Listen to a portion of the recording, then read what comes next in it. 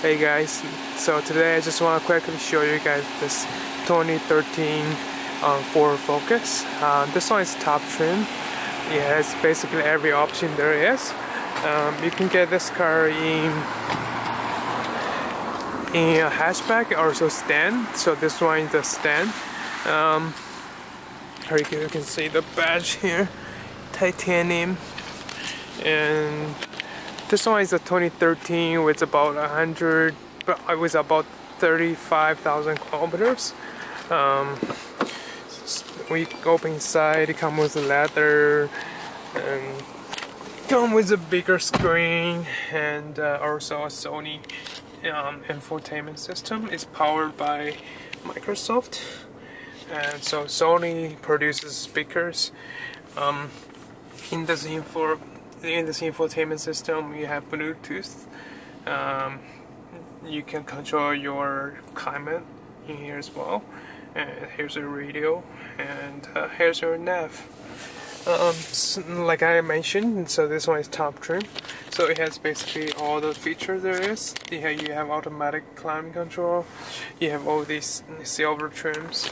And the chairs the leather chairs are real leather. Um, you to get a sunroof. And like I said this one has 35,000 kilometers. Um,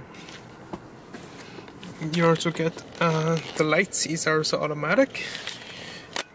Cruise control um, basically all the all the jazz you want. And let's jump outside. Um, I think these wheels are also uh, belong to this trim level. You also get keyless entry as well. Mm, what else can I show you? I just um, I just took the car out for a drive. Um, the car drive the car is actually really quiet on the highway. I was going 100 kilometers per hour on the highway. I didn't feel really much. The car has good power. Um, it's just a really nice car. And uh, what else can I show you? Oh yeah, I can show you the trunk by space if I pop the trunk. So you can see the trunk is actually quite deep. All the way in there.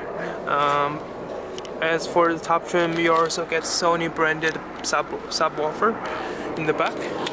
And let's, let's jump in the back seat. So so this is the back seat. And uh, of course and of course it's top trim, so everything uh, is powered as well. Um, no, the passenger seat and the driver seat is powered, and you also get you also get heated seats as well.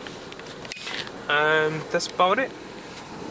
Um, thank you for watching, and I will see you guys in the next one.